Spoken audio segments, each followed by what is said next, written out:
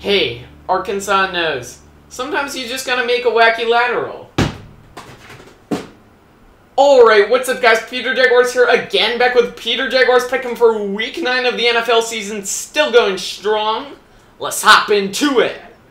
Last week was fairly kind to us. We finished 9 and 5, and that makes our season total rise up to 73 wins, 46 losses. So doing pretty well right here, and we still are working our way up, which is good as we should be more confident and consistent as the season rolls on. That said, we're continuing this rap challenge. We beat it, I believe, seven weeks in a row right now. Need to finish with a record above 500, or we'll make a rap video. But hey, my picks do fire right now, so maybe we'll be able to win once again.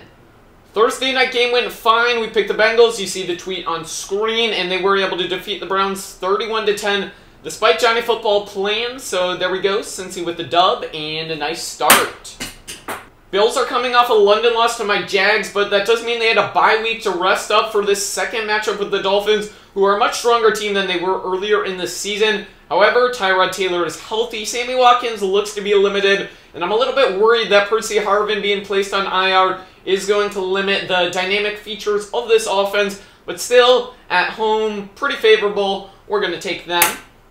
Totally sucks to see Le'Veon Bell's injury. One of the top running backs in the league, and he's a great player. Fun to watch, all that good stuff. DeAngelo Williams should be able to step in and do all right. He runs with good patience and can do the job. But of course, that slows down that offense a little bit. But their pass rush has actually been stepping up throughout the year. And may be able to get to Derek Carr, who has been being protected by a nice offensive line. Somehow James Harrison, really old, but still putting in work. Jarvis Jones is actually being alright these days. So we are going to give Pittsburgh the lead. They are at home, but this Raiders team is something to be watching out for.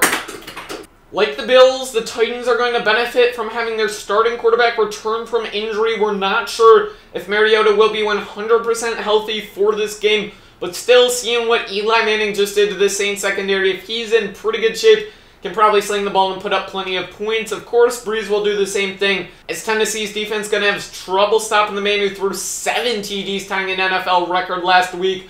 So we'll see how this one goes. Going to give the edge to the Saints. Their organization more stable right now. Brees is the better quarterback, has more experience.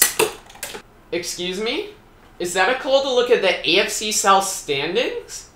Oh yeah, it's they're, over here. You know, just half a game out of the division. Just dropping that fact on you guys right now. As much as you want to talk trash about the Jags, half a game out. Who knows what will happen?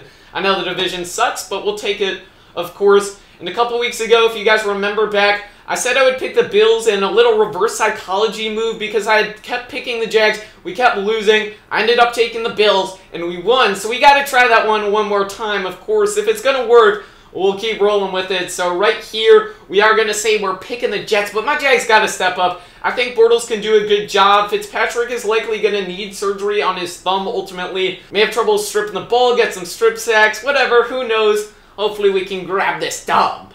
If the Redskins can come into New England and snag a win from the Patriots, take away their undefeated record right now, then I will give them massive, massive props. But honestly, you could make just as good an argument for saying they shouldn't even show up and risk players getting injured, beat up, and all that stuff, and just take a bye week. Like, seriously, I don't know. Maybe they can do it. Would love to see it happen. It'd be pretty entertaining. But right now, there's no way we're going any way other than the Pats.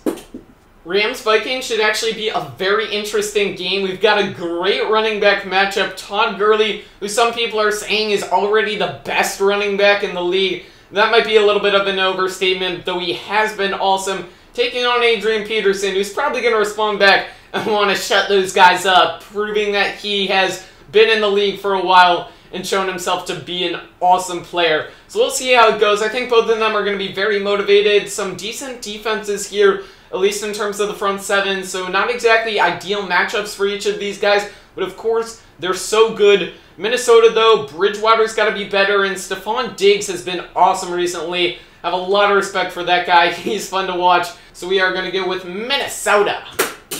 But what might be the most exciting game of this week is Packers-Panthers. Packers were able to destroy Carolina at home last year, but they're only 6 and 6 in road games since the start of last season. Great at Lambeau, kind of shaky on the road. I mean, we'll see how this one goes. They are coming off a loss. I hate to pick against Aaron Rodgers, but Josh Norman is going to be able to lock up They don't have Jordy Nelson, who's obviously a big weapon, and he's someone whose absence is clearly affecting this offense right now. And with the Panthers defense stepping up, I think Cam Newton's playing really well these days. We're going to say that the Packers grab another loss right now. Just about halfway through the video, I'm going to throw this all in right now. If you guys are enjoying, make sure to spike that like button down below. Appreciate that. And subscribe as well for tons more videos, Madden 16, and our pick'em content, all that stuff. We're still on this road, 18K, 19, 20. Let's keep it rolling. P-Jax crew, work it up. Appreciate that. Next up, we got Falcons Niners. You guys may remember a little Halloween spiel where I dressed up with my Gabbert jersey and was talking about how he's so scary to watch. You know, that was funny. Anyhow, Niners go out and announce that Blaine Gabbert is their starting quarterback, at least temporarily. Like, that's crazy. He's so bad. He's terrible. Anyhow, he closes his eyes when he throws.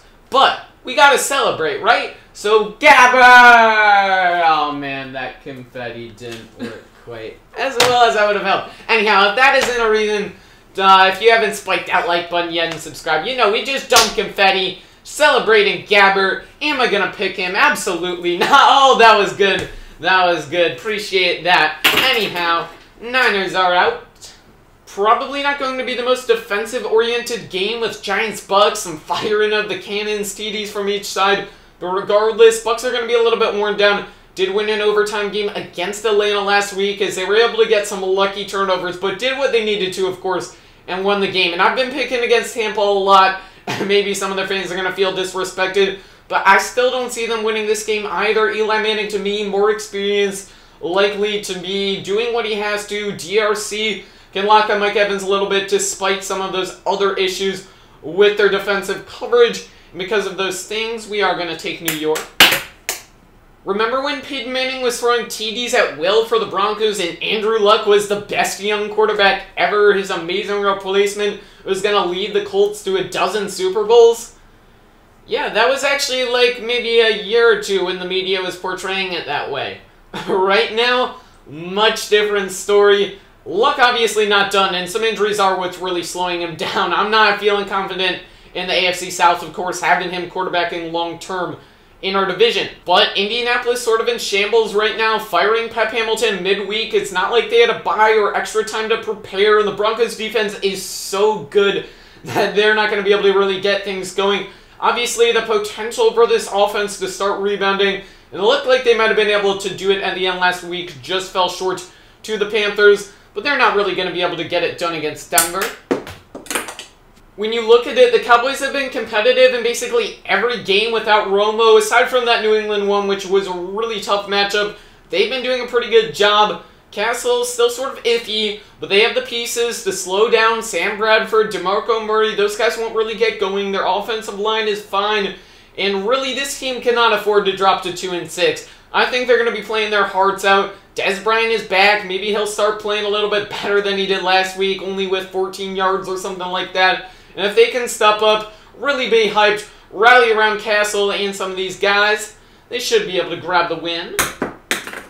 Lastly, for Monday Night Football, we got Bears Chargers. I picked each of these teams last week to win. And guess what? Bears lost in the final minute. Chargers lost close to the Ravens. Those were both frustrating. Two of my five losses. So obviously I'm not too high on either of these teams, which could honestly be wildcard contenders if they really gelled, didn't have too many injuries, all of that stuff. But alas, each two wins, and they're not feeling too great. This isn't the biggest Monday night game, but of course it is what it is. San Diego at home. Rivers, to me, still better than Cutler, and they are kind of doing better on offense. I don't know. I mean, Keenan Allen's hurt, so that's going to be a concern.